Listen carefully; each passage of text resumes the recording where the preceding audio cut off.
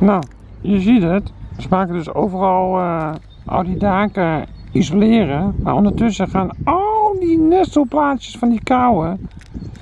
Die gaan, eh wat maken ze dicht, verdwijnen en zie je niks meer van terug.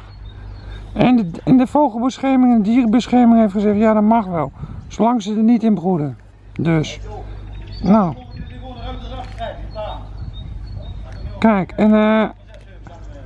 Volgens mij moeten ze eh, een gordel om of zo. Ik weet het ook niet. Maar mij maakt niet uit. Ik klim er ook zo op. Ik, eh, ik hoef niet vast te zitten.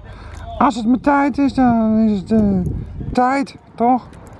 Het is de tijd van komen en het is de tijd van gaan. In de tussentijd moet je gewoon doen wat denk. Dan moet je gewoon doen wat je denkt dat goed is. Maar dan wil ik even zeggen. Mensen, we maken nu al die koude nestjes dicht gewoon. Maar er komt een dag, dan zeggen ze, hé, waar zijn ze? Ja, dan hebben ze geen huisje meer, kunnen ze niet meer wonen. En ondertussen overal extra's en Vlaamse gaaien.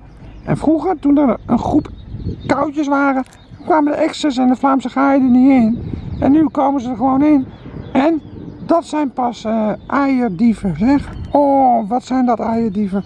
Dus met andere woorden, ik ben niet tegen dieren, maar als je dieren wil beschermen in je eigen wijk en in je buurt, moet je de, moet de, ex, moet de extra eruit jagen in, de, in, de, in die Vlaamse gaai. Want eh, dat zijn ze, de boefjes. Zelfs meneer Rutte en Hugo de Jong, hetzelfde. Nou, dan ben ik even kwijt. Dokie.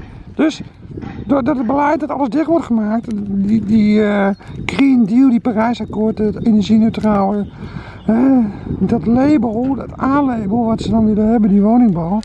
Je hele, je hele, je hele, je hele,